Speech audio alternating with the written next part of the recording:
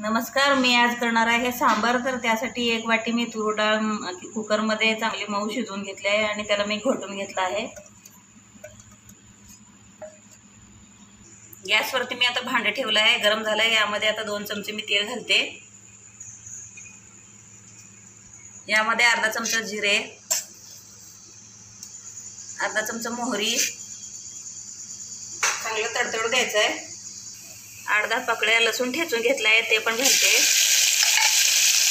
थोडासा कढीपत्ता. आणि काश्मीरीचे दोन तुकडे पण घेत आहे फोडणीसाठी. मी काश्मीरी मिरचीचे दोन तुकडे घेतले आहेत फोडणीसाठी. दोन चमचे लाल तिखट तुम्ही प्रमाण कमी जास्त करू शकता तुमच्या आवडीनुसार.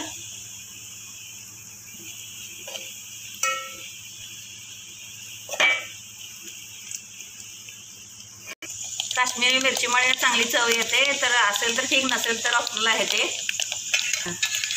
तर ही घोटलेली डाळ आता घालायची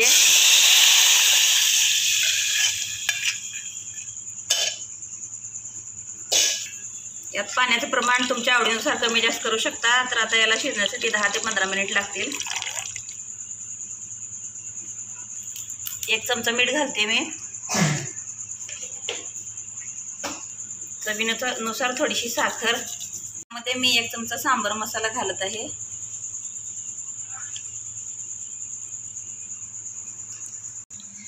तर आपलं सांबार तयार झालं आहे खाण्यासाठी तर तुम्ही इडली आणि वड्यासोबत खाऊ शकता. खूप छान लागेल. हा व्हिडिओ आवडला असेल तर लाईक करा सबस्क्राईब करा आणि शेअर करा. धन्यवाद.